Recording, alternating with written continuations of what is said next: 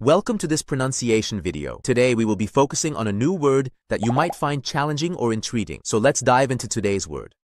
Accompagna, which means musical term for accompaniment in Italian, supporting the main melody. Let's say it all together. Accompagna. Accompagna. Accompagna. One more time. Accompagna. Accompagna. Accompagna.